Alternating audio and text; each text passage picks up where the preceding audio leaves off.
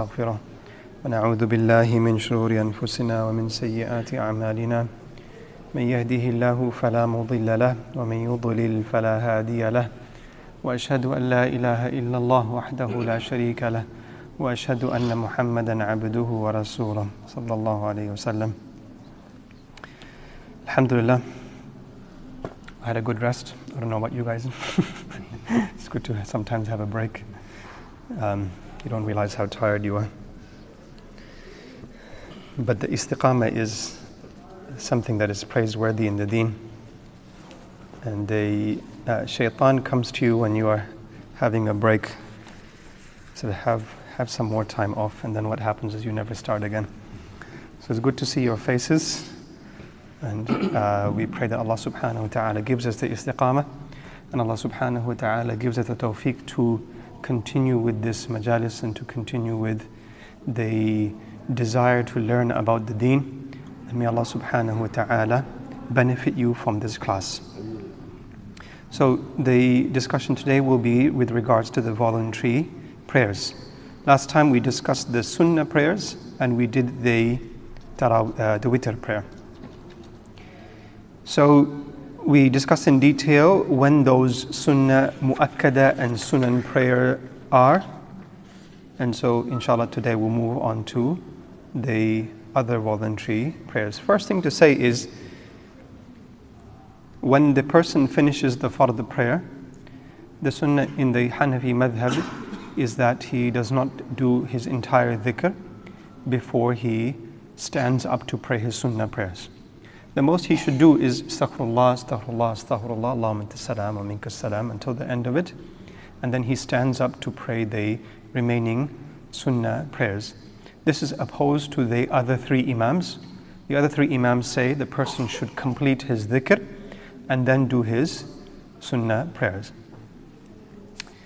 So that is with regards to the timing. Then with regards to the place, it is the sunnah for the imam that he prays his sunnah and voluntary prayers where he has led the prayer, except that he should move slightly to the left so that someone who has come late can realize that the imam is not praying the fard prayer, but in fact he is praying his own sunnah prayer. So you will see that when I finish leading the prayer, I usually move to the left here and I pray my sunnah prayers over there. However, for the follower, for him it is permitted that he can either stay where he has done his fard prayer or he may choose to move to another portion of the masjid and pray there and it is preferred to move places. Why is it preferred to move places? The reason being that when you say assalamu alaikum wa rahmatullah you attend to do the salam to whoever's on your right hand side and the malaika and the pious jinns right and when you do assalamu alaikum to the left, it's to all of those who are on your left, the malaika and the pious jinns. So when you move position, then you are saying salam to more people. Secondly, that when you move positions, then that place will give witness on the day of judgment that you had prayed in that place. So the earth will give witness on the day of judgment that so and so walked to the masjid on me and so and so prayed on me. And so you will see that from the sunnah of the Eid prayer and the Jummah prayer, we will do those sessions separately. What are the sunnah there? Is that a person should come to the masjid in one way and return home in another way, so that more places of the earth can bear witness that you walked on them to go to the masjid of Allah subhanahu wa ta'ala. And there are, you know, reports of Salihin who went to Masjid al-Haram and have written that in the time that were there, they prayed two rak'ah behind every single pillar in the masjid. How many of you have prayed two rak'ah behind all of these pillars? Has anyone done that yet? No. So this is maybe a target for you to try and achieve, inshallah. That in this masjid, try and pray two rak'ah behind each of these pillars. May Allah give you the tawfiq to go to Masjid al-Haram and pray two rak'ah behind every pillar in the masjid. There are probably a few thousand pillars there now. Before it wasn't that many certainly a lot bigger masjid now. They, uh, the voluntary prayers can be prayed at any time except for the non permitted times. we'll come to the ikhtilaf of Imam Shafi'i with the Tahiyatul Masjid. With regards to the daytime voluntary prayers, according to Imam Abu Hanifa, it is preferred to be prayed in four rak'at. And the recitation is done in all four rak'at. As opposed to the fard prayer, where the recitation after the Quran is done in the first two rak'at and not the last two. The Fatiha is separate to the recitation. Okay? So the Fatiha is done in all the rak'ah and the recitation of the Quran after the Fatiha is done in the first two rak'ah of the fard prayer. In the voluntary prayer, you do the recitation of the Quran following the Fatiha in all the rak'at of the prayer. In addition, there is something uh, that is unique to the four rak'ah voluntary prayer. So if someone is praying a four rak'ah sunnah or sunnah mu'akkada, he prays uh, in the following way. He does Allahu Akbar and then he does the istiftah and the, the ta'awudh, the basmalah, the Quran recitation. Right? And he does not repeat the istiftah and the ta'awudh. Right? Is that correct? Imam Shafi'i says the other three rak'at he starts with the basmala. No, he doesn't do istiftah again, right? The other three rak'at he doesn't do the istiftah in the sunnah prayer and the fard prayers. Right? The istiftah is done once in the beginning of the prayer and never repeated. Okay? The ta'awud is done in the beginning and not repeated, except that Imam Shafi'i says it is sunnah to repeat it in every rak'ah with the Fatiha The basmala is done before the Fatiha and before the surah. سبحانك اللهم وتبارك اسمك وتعالى جدك ولا إله غيره or إني وجهت وجهي للذي فطر السماوات والأرض حنيفا وما أنا من المشركين or some other ثنا or istiftah is the same thing same thing so you do the istiftah in the first rak'ah the ta'awudh in the first rak'ah the basmala in every rak'ah okay In the voluntary prayers, Imam Abu Hanifa says that in the third rak'ah you do istiftah and ta'awudh as well. And it's perhaps something that people forget to do. This is not done in the sunnah mu'akkada, not done in the sunnah prayer, but it is done in the voluntary prayer where you are praying four rak'ah prayer. And the four rak'ah prayer is done in the daytime. And we'll come to further detail around that.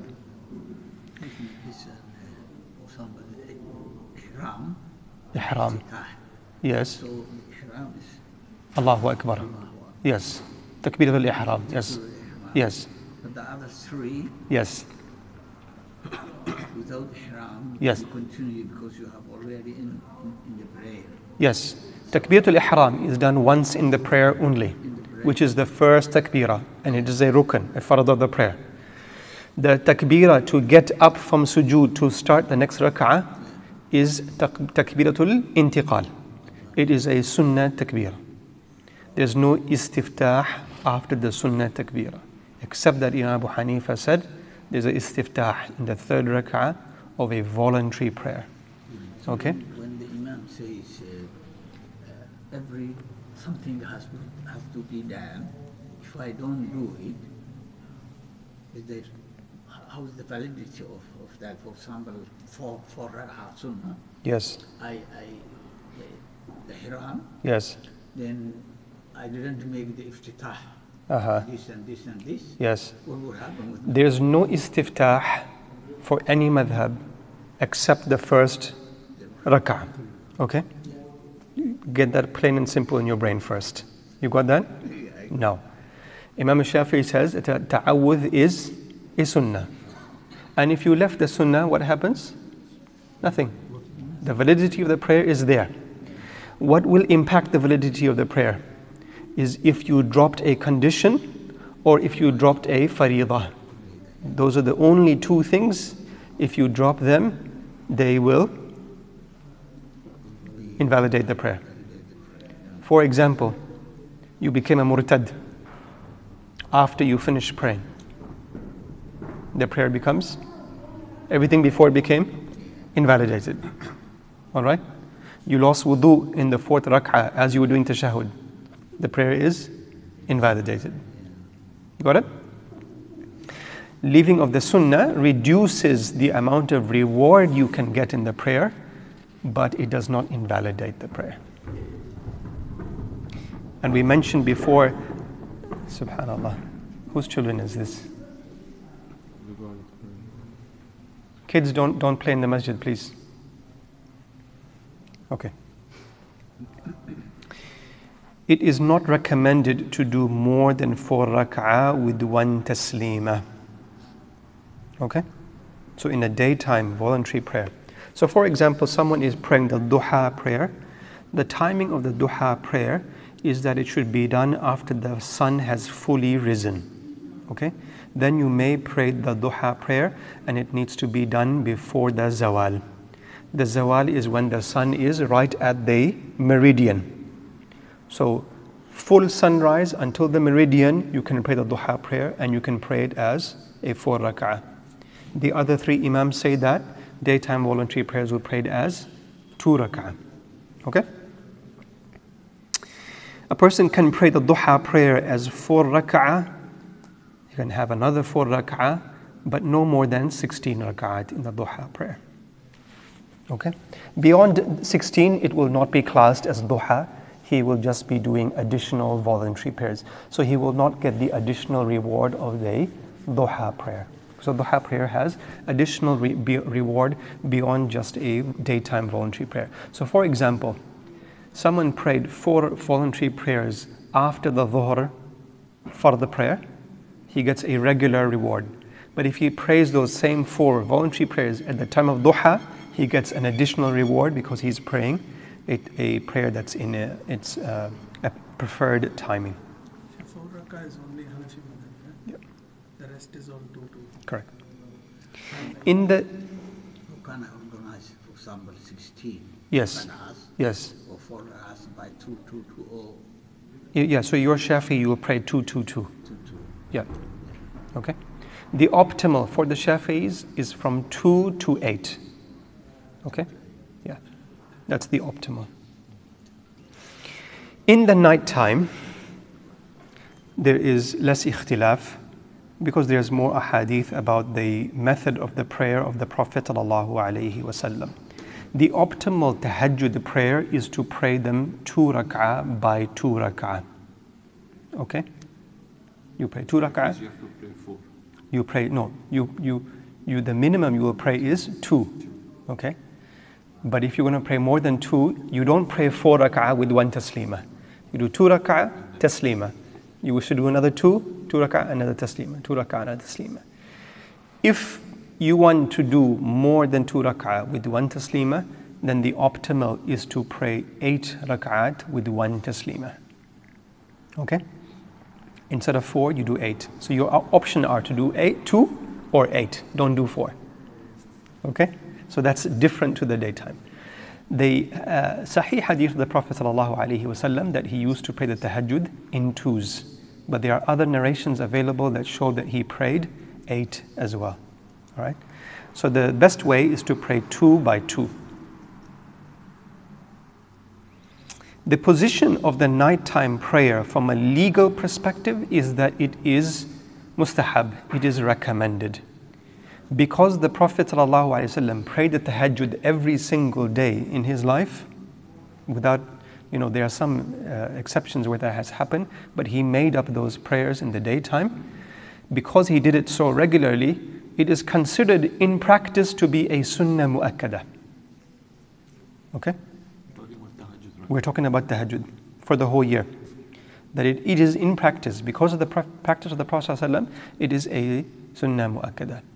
And whenever you study the Quran and the Hadith, the great sense that you will have is that tahajjud really is a mark of your iman. If a person has proper iman, he prays tahajjud. If the prop- person wants to develop righteousness, wants to be from the salihin, he prays tahajjud. And you know, tahajjud is uh, something that a alim and a student of knowledge should not do without. You should be doing it regularly, even if it is just two rak'ah. Okay? And the timing of tahajjud is from Isha to Fajr. So let's say we are praying late now and we can't even pray sunnah and witr in the masjid anymore. You have to go and pray it at home. Simple thing is when you go home, you add two rak'ah after your sunnah and you make the niyyah of tahajjud. You don't have to go to sleep before you pray. You have to take a nap before you. pray. You don't have to. The timing of Imam Abu for example, it is said that he prayed tahajjud every single night from Isha to Fajr no for 40 years. He did not, he never went to sleep before he started his tahajjud. Right? The sunnah, the Prophet ﷺ used to take a nap, then get up, and he used to pray the tahajjud. But there's also reports of him praying all night without going to sleep, before or after. Okay? so tahajjud must be before witr. I'm coming to that. We did witr last week, but I'll mention one or two points about it before I come to witr. The nighttime prayer is superior than the daytime voluntary prayer. Okay? So if you're going to choose between the duha and the tahajjud, what is superior? Tahajjud. The prolonged standing in the tahajjud is superior than more sujood. How will you do more sujood? You will do more rak'ah. Right? So for example, someone prays 40 rak'ah of tahajjud. It is valid to do. But it is superior to pray 8 long rak'at than it is to pray 40 short rak'at. Is that clear? Which requires you to memorize the Quran, which is something I discussed two or three classes ago. So make this an aim in your life that you memorize the Quran for the purpose of praying tahajjud. Is that clear, Hamza? You got it? You're listening? Good. All right. The witr prayer can be prayed before or after tahajjud, but it is superior to pray the witr prayer after the tahajjud. So the Prophet ﷺ has been noted to pray two rak'ah after the witr prayer. And when we come to Taraweeh, we will discuss that in detail as well. Okay, so we did the nighttime and the daytime and a duha. The tahajjud all night has been reported from the Prophet ﷺ in the last 10 nights of Ramadan. The two nights of Eid. What do I mean by the two nights of Eid? It is the night prayer before the Eid. So the night that you have before the Eid prayer. So it is the first of Shawwal night and the 10th of Dhul Hijjah night. Tahajjud all night has been reported and is a, uh, a night of great reward. The first 10 days of Dhul Hijjah are also reported of praying all night for tahajjud. There are some weak ahadith with regards to the 15th of Sha'ban, so a person may follow that uh, option as well. The voluntary prayer may be prayed seated. Now, we discussed this when we mentioned the rukn of standing, that it is allowed to pray a voluntary prayer seated even if the person is able to stand. This is not the case for a wajib prayer and not a case for a fard prayer. A person must be standing for those uh, prayers.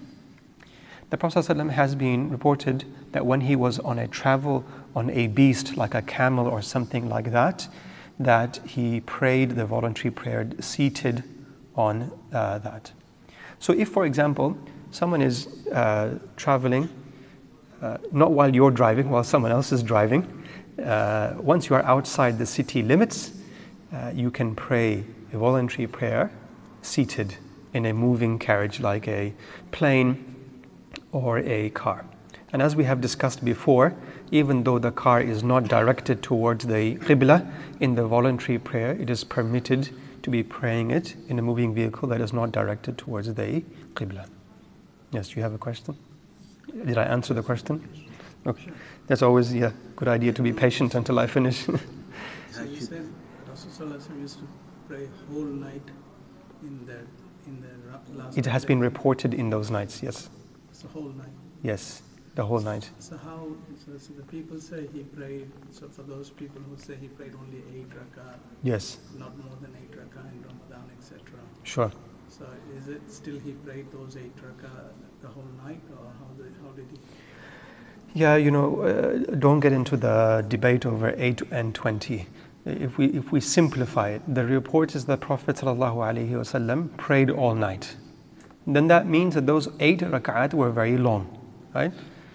So we have, uh, for example, I believe it is Abdullah bin Abbas anhu who reported that the Prophet ﷺ, when he spent one night with him, that he started reading Baqarah and then he went to Ali Imran and then when he went to ruku', his ruku' was longer than his recitation. And when he stood up, the standing was longer than his ruku'. And when he went to sujood, his sujood was longer. So every single component was longer than the one before it. So if you and I were to read Baqarah, if you read Baqarah in Hadr, Hadr is quick recitation. Usually when the Hafiz does his revision, they do quick recitation, right? It will take you my estimate is an hour and 20, 25 minutes just to do Baqarah. Ali Imran, shorter than that. So let's say it took you two hours in Hadr to do Baqarah and Ali Imran. And the recitation of the Prophet was not in Hadr. He did not used to recite quickly. He used to recite with every single tajweed rule, you know, and, you know, uh, there are other reports about the Prophet ﷺ stopping and repeating an ayah over and over again and thinking about it. So it was not a two hour standing. But let's say, just assume, if, if it was two hours standing, and then he did ruku' for two hours, and then standing for two hours, and then two sujood for, this is longer than one night has in terms of its time. So the other thing that we understand is from the tahajjud of the Prophet ﷺ is that his time was given barakah that you and I can't perceive right? So his one night of prayer would be much longer than you and I's prayer. For the Hajj, can I rest for example, if I want to pray uh, 20 rak'ahs, Right. can I uh, pray in pieces and rest a little bit Yes. and again start? Yes, you certainly can. The Prophet ﷺ saw one of his wife, I, I believe it was, it was um, Zainab radiallahu anha, that, that she had put two she had put a rope between two pillars in the masjid. And he asked, Who has done this? So he was told that it is Zainab radiallahu anha. So he said, No, remove this. That don't pray in the don't pray in a situation where your body is so tired that you can no longer stand. You have to rest against something. Although it is permissible, it is you know not something that is you know encouraged that someone prays to this degree. Once you are tired or you are so drowsy that you are falling asleep, the person is better off resting rather than continuing with the prayer because it's possible that when he gets so tired, he mixes up things. He sends the mu'minun to Jahannam and he sends the kuffar to Jannah, you know. So uh, the person should not pray when he is that tired. The purpose of the nighttime prayer is taqarrub to Allah subhanahu wa ta'ala, is to get close to Allah subhanahu wa ta'ala and to feel that the person is away from the people and there between him and his Rabb. And from the, the ibadat, it is the most beautiful ibadah. There is no ibadah like the tahajjud prayer. And uh, last Ramadan, I was mentioning this to, to the people here. And one person came to me two, two mornings later. He said to me, I followed your advice and I prayed the tahajjud prayer for the first time in my life.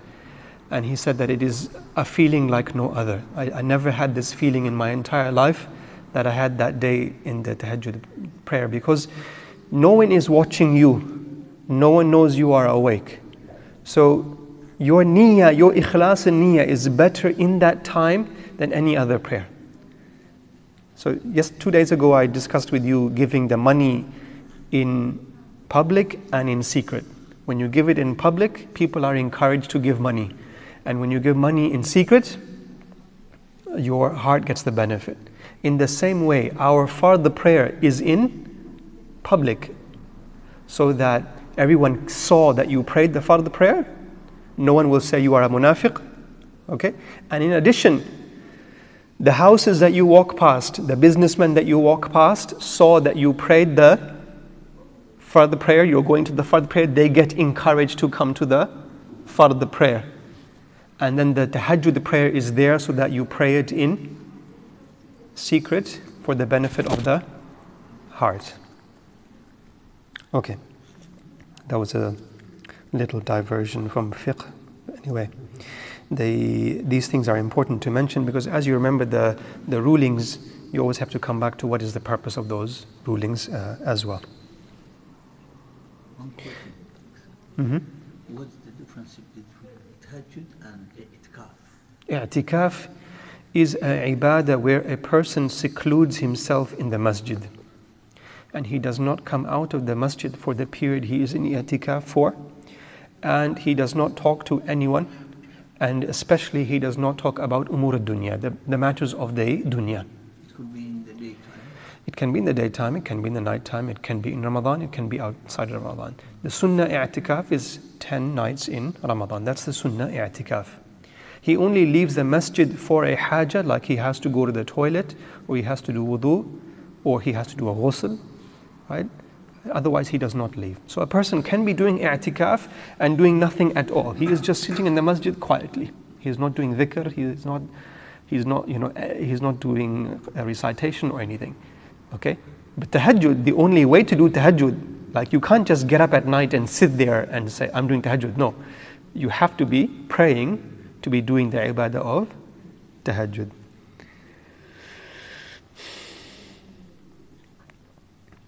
Tahiyyatul Masjid. Tahiyyatul Masjid is done when a person enters the masjid, even if he enters the masjid for a lesson. So let's say Brother Ali has prayed in Bukhari house and he prayed Maghrib there, and then from Maghrib he prayed the Fard prayer there, and now he is coming to this masjid to listen to the lesson. What does he have to do before he sits down for the lesson? He prays a two rak'ah tahiyyatul masjid. Okay? This is a uh, voluntary prayer. It is preferred that a person does this before he sits down. According to the Hanafis, even if he sits down, he may pray it again. For the Shafi'is, he should do it before he sits down. Once he sits down, he loses the reward of the Tahiyyatul Masjid. For the Hanafis, the person, when he enters and, for example, the prayer has started, then when he prays the Fard, the prayer, he will get the reward of the Tahiyyatul Masjid at the same time. Alright? Because he has combined the niyyah. Uh, for the Hanafis, it is not permissible to do them at the impermissible time. So let's say someone enters after the fard prayer of Fajr before the sunrise. It's an impermissible time to pray anything for us. He has prayed the fard, he enters the masjid. Now he cannot pray the tahiyyat al masjid. He should just do some tasbih. Subhanallah, Alhamdulillah, Allahu Akbar, La ilaha illallah, something like this. And the Shafi'is say that it is allowed that a person, even if he enters at an impermissible time, that he may pray the tahiyyatul masjid. Similarly, if someone enters the masjid while the khutbah of Jum'ah is going on, then the Hanafis and the Malikis say no prayer is allowed. Okay? And the Shafi'is and the Hanbalis say that a person may pray the Tahiyyatul Masjid even though the khutbah is going on. Okay? And this is the, on the basis of one hadith. I'll just explain it to you very briefly that the Prophet ﷺ saw a man who entered and he sat down doing the khutbah and he told him to get up and pray two rak'ah. Okay? On the basis of this hadith, the Shafis and the Hanbalis say that even if a person enters when the khutbah is going, he should pray two rak'ah. The Hanafis and the Malikis say that this ruling was khas for him so that people could see his state of poverty. Okay? And it was not the uh, action of the Sahaba and the Khulafa al Rashidun. They would not do this. So, on the basis of their action, we say it is not allowed. Okay? It's not encouraged. This is the Hanafi position. The Shafi'i position is on the basis of the hadith, they act upon it. All right? You have to, so, you know, uh, understand the difference in usul in the Shafis and the Hanafis, right? The Hanafis do take into account what was the action of the Sahaba to interpret the ahadith, right? So uh, Imam Shafi had a different usul. That's where the ikhtilaf comes from. Shafi and Hanbali. Shafi and Hanbali, yes. The tahiyya of wudu, the prayer of wudu is two rak'ah, and it is a voluntary prayer that when a person does wudu, he may pray two rak'ah. Um, Yes. for example, if, if it's not a mosque, but it's a private, private uh, property, for example, somewhere, Mm-hmm. it has it, uh, five, five prayers is, is done in this. Mm-hmm. Can I take tahiyyat? It's not a masjid. Okay, then so your question basically is what defines a masjid? Yeah. Okay. A masjid basically is a place where people gather to pray and is designated as a place of worship. Okay? So if let's say uh, I invite you to my house to have dinner and I invite you and I invite you and you all gather and we pray Isha, does it become a masjid? No, because you're not gathering there for five daily prayers, right? Then the difference between a musalla and a masjid is where one has Jum'ah and one does not have Jum'ah. Okay? So someone like Somali Musalla is a Musalla. This is a this is Jami'a Masjid. Okay? Because Eid is also prayed here, Jum'ah is prayed here, and it is the largest masjid in the locality. Do we have time to do Taraweeh? Yes, we have time. Okay. Unless you guys are tired and you want to stop right now. If it's 20 rakah, we don't. Worry, I'm not having that discussion. Uh, we have a few points to cover for Taraweeh. And then um, the 20 rak'ah and the 8 rak'ah discussion, I, I've decided that is a, is a useless discussion because those who are in the 20 camp, uh, there's no point arguing with them. And those who are in the 8 camp, there's no point arguing with them. They, they both have their views. Um, I'll present my views and the evidence for it, but um, basically, I'm not doing a debate. Taraweeh is only prayed in Ramadan. It is not prayed outside of Ramadan, and there's no qada for Taraweeh. So, why do I say this? The Prophet ﷺ used to pray tahajjud, okay? And he used to pray it every night. On the occasion where he did not pray it, he would pray it in the daytime. Umar radiallahu anhu, another example, he would pray tahajjud, and wherever he missed it, he would pray it between sunrise and zawal. In the time of duha, he would make up his tahajjud prayer. So the number of hours he would normally do for tahajjud, he would make it up in the daytime. But Taraweeh has no such qada. It is prayed between Isha and Fajr. Now, this is important because let's say you enter the masjid and you have not prayed Isha. Okay? You cannot just say, I'll pray Taraweeh first and then I'll pray Isha afterwards. You can't do that. You join the Jama'ah and if you are not sure that they're praying Isha or Taraweeh, you make the niyyah of praying Isha. If you find that in the second rak'ah the Imam has done salam, then you get up and you complete two rakat. Okay? And then after that, you catch the Imam for the remaining Taraweeh. And let's say that you caught 16 with the Imam, then you make up your four Taraweeh by yourself any time before Fajr. If Fajr enters, Taraweeh is gone for that night. The Taraweeh itself is a Sunnah Mu'akkada according to all the madhab. And this includes the woman. And I state that because the Shia say that it is a Sunnah Mu'akkada on the men and not the women. Now, the Shia are not a consideration when it comes to fiqh, but sometimes it is worthwhile to know how we are different to the other party because it makes it easier to remember. Okay, that it is Sunnah Mu'akkada. Now, why is that important? Because often it is the men that come to the masjid and the women do not. So they have to pray their Taraweeh at home. And we discussed in detail the Jama'ah of the women and which madhahib allow it and which madhahib don't allow it. The difference is that the Taraweeh prayed in a Jama'ah is a Sunnah Kifaya.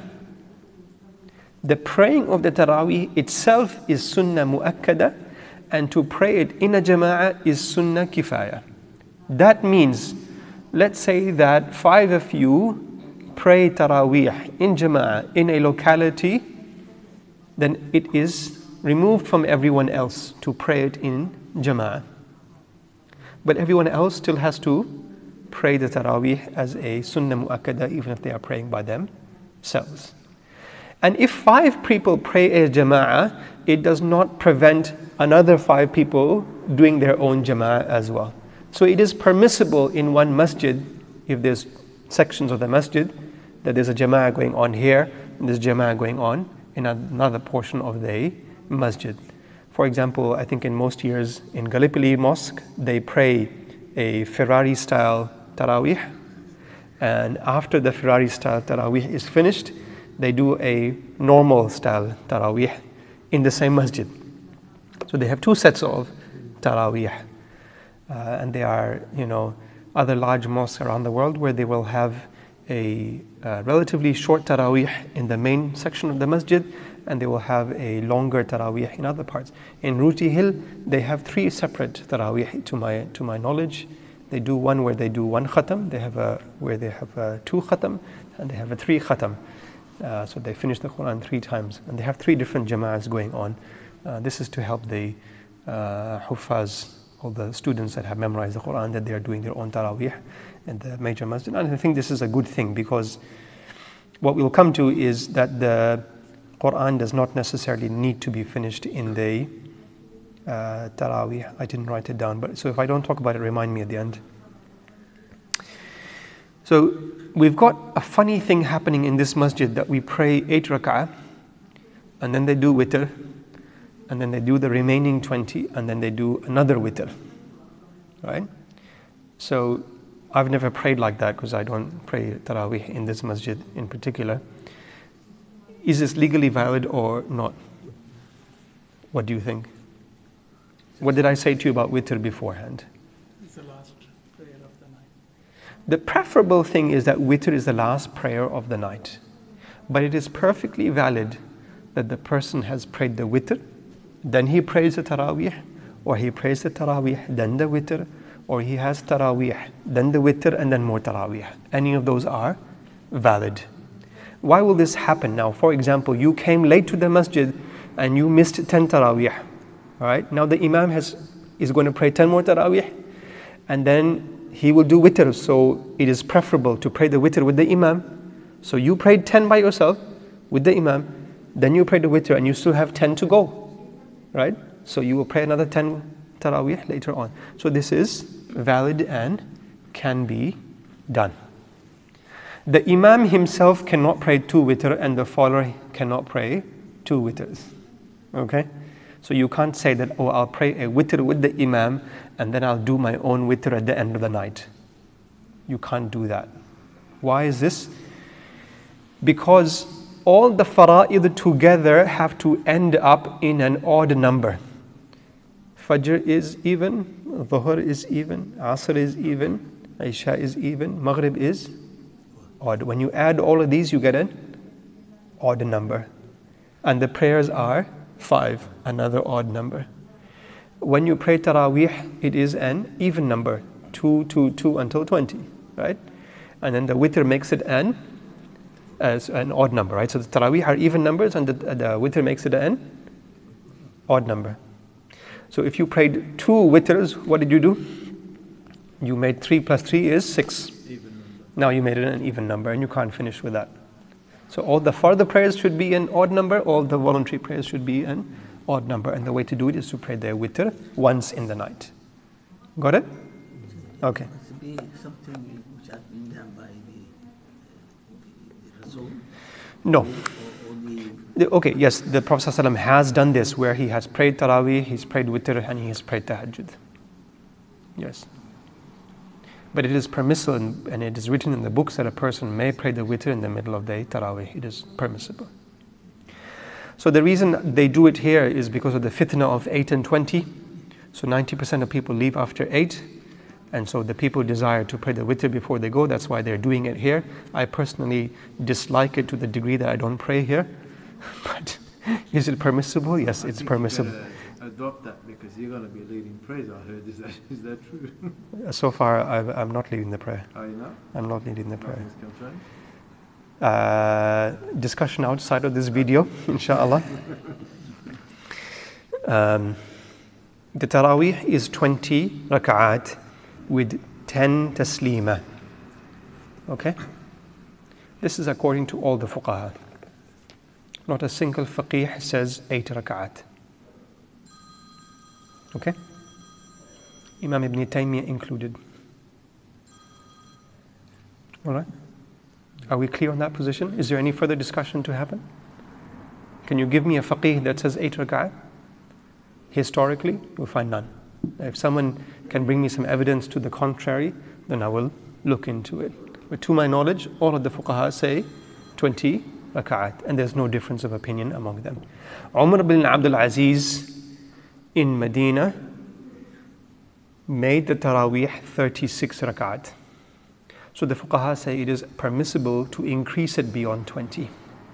But the sunnah mu'akkada is 20 on the basis that Umar bin al-Khattab, when he set up Taraweeh, he set it up as 20 and not a single Sahabi who was alive at the time in Medina and outside of Medina objected to 20 rak'at. None, us, not a single one of them said, why are we praying 20? It should be 8. Okay? So this is called ijma' sukuti. The ijma' of the Sahaba by silence. Okay? And ijma', remember, is always done on the ulama of the Sahaba. Right? We're not dealing with a Sahabi who didn't have knowledge. No, we're dealing with the ulama of the Sahaba. All of them did ijma' The Taraweeh is how many rak'at? 20 rak'at. And they also have ijma' that it is 10 taslima. So Imam Abu Hanifa says that if someone prayed four rak'at Taraweeh with one taslima, it will count as two rak'at. All right. So I did pray in the masjid and I found them praying four rak'at with one taslima. So I did my salam and I came out. By the time, by the time I crossed five rows, they had already done two rak'ah. it is true. Anyway, that was one of the years they were praying that way. Wallahu alam, what they do right now. I don't want to name people. They're praying red fan. Sorry, in Redfern, they pray four rak'ah with one taslim. In, in, the, in the books of, uh, of, the, of the Hanafi fiqh say that that is disliked to the degree that they only count it as two rak'ah. And the, other madhahib say it should be two by two. They don't have an option of four. So it's, it's one of those things that you see happening, but actually on the basis of the books, it should not be happening. After every two taslima, meaning after every four rak'ah, there is a rest. And that rest is recommended. Okay? You don't have to do it, but it is recommended. And the recommended period is that that is resting for as long as you did the recitation. So let's say you recited, your recitation was for 12 minutes, the resting is for 12 minutes. However, the Imam may drop this if he finds that it's difficult for the people. How will it be difficult? Well, if you did this after every four rak'ah, you will double the time of the Taraweeh. And that will mean it will finish later. So all those people who are tradies, shopkeepers, they will struggle to pray Taraweeh. So the Imam may drop uh, this. The Sunnah is to complete one Quran in Ramadan in Taraweeh. In the Ikhtiyar, which is one of the major Hanafi books written about a thousand years ago, it stated that the recitation may be shorter than that if finishing one Quran will deter the people from attending Taraweeh. And the reality in Sydney is almost no one will attend if you finish the whole Quran in Taraweeh. Except for maybe, so if we have a masjid of, I have noticed that if the first two rak'ah there's 20 lines, 18 lines regularly, and by the end there is barely one line. So basically, 90% of people will not attend if you are finishing the Quran. It is, it is probably preferable that in a locality there is a masjid that is finishing the entire Quran, so whoever wants to attend that can attend it, and there are taraweeh that are brief, so that people who are doing physical hard work in the daytime or business or shopkeepers who are doing hard work, they can attend a briefer Taraweeh. They don't have to attend a Taraweeh that completes the entire Quran. to finish with sitting. Sorry? Sitting, when, when the recitation is very long Yes. and you can't stand, so you sit down. This is if a person is unable to stand, right? That then applies for a fard prayer, a wajib prayer, or a sunnah prayer. He may pray it sitting down because he is unable to stand. Okay? I See, some people, they wait, so when they see that the imam is just coming to, to, they stand up and It is makruh to wait until the imam is about to do the ruku'ah. yeah. okay? Except if a person has a you know an excuse for this. So for example he is eating something or you know whatever something like that you know he's finishing his food or whatever then he's then he joins the prayer when they're about to go into ruku' this is valid this is from the action of the munafiqeen to delay catching the jama'ah until it is ruku' time so some say that it is makruh tahriman to do this intentionally because it is the likeness of the munafiqeen. However, if you know someone has a valid excuse, he may do this. If someone is tired, you know, he may rest for two rak'ah, then join the two rak'ah afterwards. If someone's very tired, last year I had a, a disc prolapse. I, I prayed half my taraweeh sitting down. I couldn't stand at all. So I prayed behind these boys and I sat down. Sheikh, the sunnah is to finish the Quran in whole Ramadan or one Tarawih? No, no, no, the whole Ramadan. Yeah, so that will mean one juz a night. One juz in one night, not the whole Quran in one night. Finish the whole Quran in Ramadan. Isn't that clear? Yes? Okay. The Imam should not leave any of the wajibat component of the prayer, even if the people find it difficult. He should not leave the Ibrahimiyya, even though it is sunnah for the Hanafis, because it is a wajib for the Shafi'is, right? So he should not leave the Ibrahimiyya because of the ikhtilaf there. He should not leave the istiftah. He should not leave the tasbih in the ruku' and the sujood. He may make it brief, but he should not leave them. He may leave the dua before the taslim. So you know how regularly we will say at-tashahud and then we'll do Ibrahimiyya and then we'll do dua and then taslim. So to make it briefer, he may leave the dua between the Ibrahimiyya and the taslim to make it slightly briefer and easier for the people. This is all the rulings with regards to the Taraweeh. Any questions? So if I have not